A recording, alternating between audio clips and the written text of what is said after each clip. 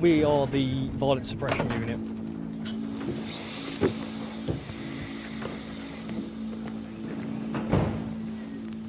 We're specifically here to try and target violent crime, violent offenders. Running towards us.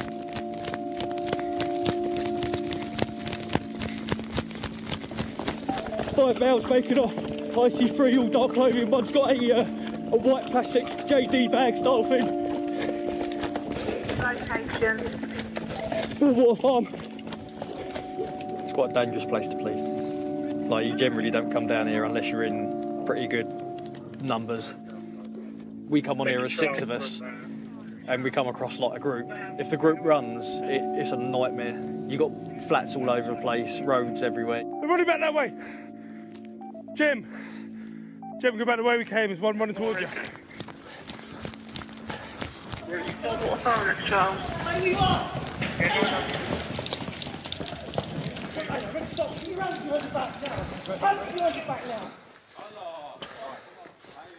You've seen a lot. You've seen a motor police vehicle and police officers and run for no reason. Okay, which leads me to believe you may be in, in possession of an offensive weapon, a knife, or some kind of other weapon. Okay. Right. So, based on that fact, you are detained for a Section One PACE search. What am I going to find? Not anything illegal. Okay. What have you got under here? When you are here doing stops, you have to be very careful with how you deal with people because you'll have members of the community just coming out from nowhere. Why, why, why do they surround you guys? Well, it's just trying to intimidate us from doing our job. They think it's going to stop us from doing our job. This suspect was searched for weapons and drugs, but nothing's found, and he's released. You look rip, man. Where you put money? Where's my money? Uh, it's all in your pockets. Let's look for any black guys on the block. People run from us. We assume they're up. They've got a reason to run from us. So We're scared of you, No, honestly, explain that to me. You You're a bunch no, of animals. You explain it to me. You, said to me. You look cure. yeah, take that. Put the stick in there. I don't know what I expected there. The Broadwater Farm has a lot of good stories, but obviously it linked to some of the bad stories as well. The two facts that always come back are Keith Blakelock and Mark Duggan.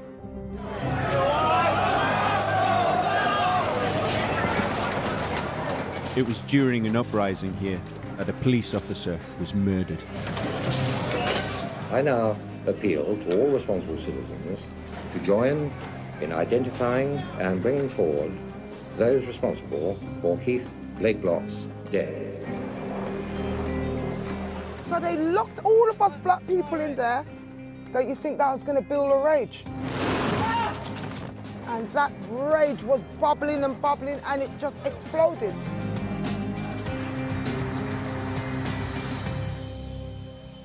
I was stigmatized by the police where they came and kicked off my door, arrested me, um, took me into the station for three days, terrorized me for the death of a police officer I do not know about, all because I lived on Broadwater Farm.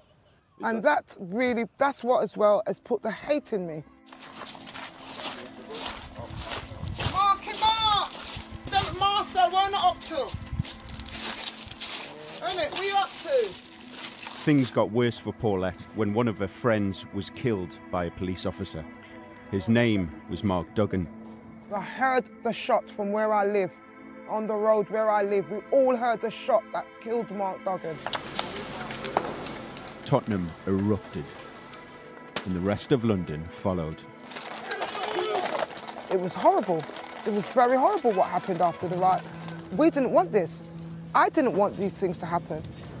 For police officers, especially in my career, I'd, I'd say the hostility towards police is more now than it ever has been. A lot of people don't want to speak to us. I don't know if policing can do more to improve that. I want to understand why the relationship is that bad. I've come to meet a well known community activist who is a mentor for young people here. Many of them are involved in gangs.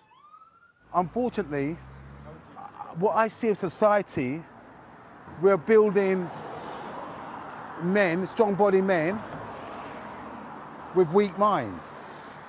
And that's a dangerous recipe for people for, to lose their to lose control far quicker.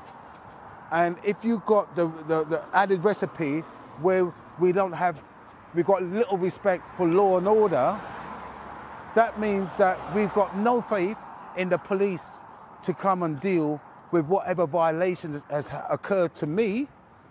So I will take the law into my own hand and take the retribution any which way I feel. So you think there's just, if, if, if uh, just say a stabbing happened uh, around here, you think that the first thought in the majority of people's minds here would not be, I'm going to call the police? Absolutely. Why should I? I'm not a snitch. Because they would solve the crime? I'm not a snitch. I'm not an informer. Put And- the person behind bars? No. And, and who the F are the police? I buried three friends. Sorry to hear that. What happened to them? They got stabbed. Do you know what I'm saying? So it's like I've seen like my friends stiff in the casket, and obviously that has an effect on you as a as a as a young male. But at the same time, it's woke me up because it's shown me there is no respawns in this life, innit? It's not a computer game, bro. You get you get shot once, you get stabbed once. You have no control over where that bullet's tearing through. You have no control over where that, that, that stainless steel or knife is tearing through your. You have no control of that. All it takes is one and you're gone. Was that the tipping point for you when you, you had to bury your friends? Yeah, that was that was that was the that was the time I said, "This is this is dead, man. I need to get out of here." How we doing guys? Myself, Chris Preddie OBE, hitting you a quick one. Real Talk True Season. Now, I just wanted to touch base on another topic that we don't seem to talk about. We seem to talk about knife crime, many of deaths, and I know sometimes we talk about many, many small little solutions, but do we feel like the Metropolitan Police and ourselves is doing enough to bridge the gap? And the reasons why I wanted to play you this video, because nine times out of ten, we always say that the police is the enemy, the police is the enemy, the police is the gangs. Why is it that we've got to a stage now where we still feel like the police is the gangs and we still haven't come together to stop knife crime? A lot of us are sitting there talking about we hate the police just as much as we hate what's going on in our community. Nine times out of ten, there's a lot of us that are losing sons, losing loved ones, and no matter how much you hate the police, we end up having to call them, having to call them to investigate the crime, to come round anyway. Do you know one's there when the crime's being committed, the police are going to come round. So why is it still that we've got to a stage where we do believe that you know we don't want to talk to the police? It seems like snitching. Have we got to a generation now with even with our young kids, we are still sitting there saying that the police are the enemy. Now I'm not saying that they're great. I'm not saying that they do a great job. And sometimes with the, the way that they live and the way that they come round and talk to our young boys, the way that they stop and search, the way that they handle their business. We know there's a lot of bent cops. We know there's a lot of bad apples. There's a lot of bad apples in a lot of organizations. My whole thing is like there's a lot of police officers that are, are going out there every single day that are working towards trying to better the community, working towards trying to help us, trying to support us. And if we are sitting there every time they come in and we want to walk away, excuse me, can I talk to you? And you want to walk away when we know it was Justin, when we know it was my man that lived two doors down and he's been causing bare riots on their estates anyway, breaking into people's houses and causing people a nightmare within their own community. There's certain people that's scared to go home because of the gangs and all the rest of it. So my whole point is not about just naming and shaming parents and saying to the young people, stop stabbing each other and saying to the government they need to be doing more, saying to the police like they ain't doing nothing. Do we need to start bridging the gap? And how do we bridge that gap? How do we look at it in a positive way? How do we sit there and say, like I said before, if we ain't going to have police, then we need to police our own community. We definitely don't want to do that. So how do we actually sit there and say, do you know what? Let's actually start understanding what the police's job is meant to be and making sure that we're holding them accountable. So some of us might need to go to board meetings. Some of us might have to really, really sit down. Some of us might have to even get into policing in that kind of sense to make sure that we understand and we're filtering through that information from top down. Because nine times out of ten in our community, we never see the police officers and there's a lot of police officers saying, well, we're fighting and we're doing this, we're doing that. And nine times out of ten, we're not hearing none of this information. All we do, we see you come in our community when it's emergency. Nine times out of ten, you don't come on time. Young kids are getting killed.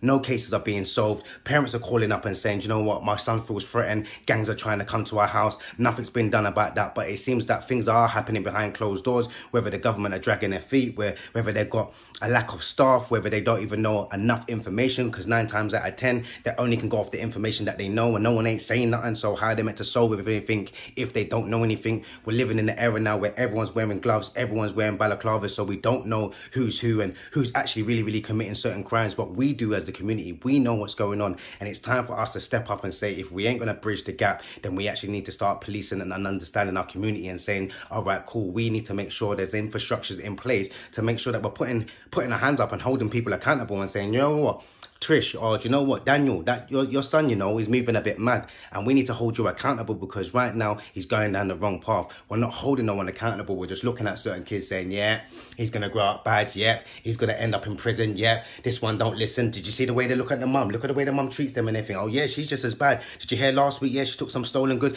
And that's all we do. We speak about our community, but at the same time, we don't sit there and say, how can we support that young mother? How can we support that young father? How can we support other people if we know that we've got the, the infrastructure, if we've got the information, if we've got the know-how? Sometimes we might even have the money. Sometimes it's time. You might even just have the time to look at a child and be like, you know what, right, I'm going to bring him in. I'm taking my son football. I'm going to take him with me. And the small little things like that allows us to have a better community and allows young people to actually see a different life and be, sit there and can feel like, you know what, there is actually opportunities out there for me. It's also for the government to bring back youth clubs, to bring back loads of organizations and bring back the real, real money that was actually manifesting great young people within our community. You got to remember, we've come from that era. We've come from that youth club era. We've come from that era of socializing. We've come from that era of developing. We've come from that era of really being able to know that you needed a craft, you needed a skill. None of our kids know about crafts and skills anymore, even though we're moving into the tech world. Let's teach them about tech. Let's teach them about coding. Let's teach them about cryptocurrency. Let's teach them about property. Let's teach them about money management. Like we used to have Pan-African schools when we was growing up. We used to have friends that was going to Islam school, we had friends that was going to the Jewish schools. We had these kind of things which we do not have now because it's been stripped back and everybody is getting their information from social media. But what do you guys think? Do you think we're doing enough to bridge the gap on the war between Metropolitan Police and the people itself and the community? Do you think there's more that we can do? Do you think there's other stuff that the police can do? Comment below. But this year, guys, I want to look towards how we bridge the gap instead of how we stick to stay divided and say that this person's wrong and that person's wrong. What's you guys' thoughts? Comment below. How do you go after the bad guys without alienating the good guys in these communities? It's a difficult question. It's a very difficult uh, I, I, all I can say is from my own experience and working with these guys is you you treat everybody with respect. You know, even if it's a bad guy, you still treat that bad guy with respect. He's a human being at the end of the day. We're there to stop bad behaviour, aren't we? Whether that alienates passers by, I, I don't think we can do anything about that. London is on track for one of the worst years for teenage murders in decades. Many of the victims are children. And I'm reminded of this as I arrive at Broadwater Farm. What happened? There was a stabbing just, uh, just inside there. Really? Whereabouts? Just in there? Tainted. Oh, really? How old was he? 16. 16? Do you think the police would describe you? As a menace to society. And are you? A menace to... No. I'm a family man. We're portrayed as criminals, as gang members. Has any of those people that portray us as that way ever spoke to us and said to us, how do you feel as a person? You mentioned gang wars.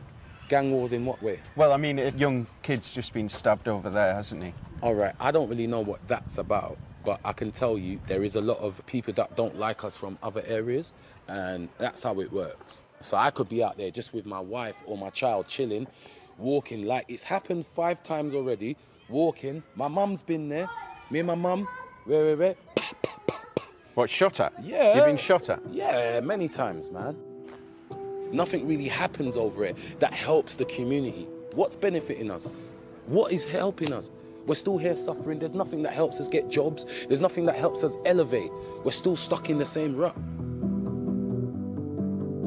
Do you think there's an answer to this problem, or do you think this issue is just going to go on and on and on? I think it's a long term problem. It's never going to be fixed overnight. I think we just always have to keep working at it. I'll be honest with you, there could be a solution to it, but I am not the person to tell you because I don't know if there's a solution to it. I might not even live to see the solution.